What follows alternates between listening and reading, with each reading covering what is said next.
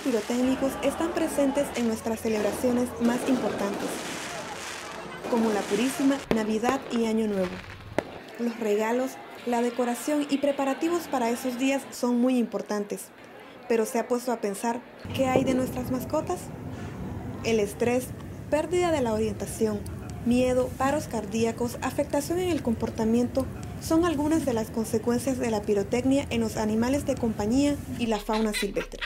Los perros y los gatos son muy sensibles a, este ruido, más que no entienden de qué viene ni por qué viene y viene sorpresivamente y en forma masiva.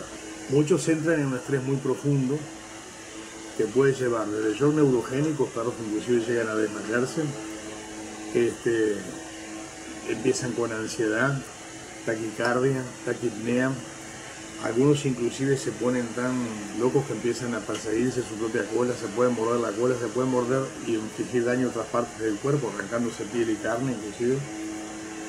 Eh, otros quedan como desvariados.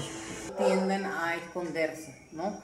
Y quieren, quieren ir a un lugar abajo de la mesa, abajo del, de la cama o donde, donde sea, ¿no? Pero si ellos no en este momento no tienen protección, eh, va a ser un problema para la familia y para el perro. Incluso hay perros que se descontrolan totalmente y se salen de la casa y se pierden. Si su mascota le tiene pánico a la pólvora y a los fuegos artificiales, es importante que tome en cuenta el consejo de los especialistas. Buscar un lugar aislado dentro de la casa. Evidentemente el ruido va a llegar, pero que haya menos ruido. Realmente un baño interno es el lugar más adecuado.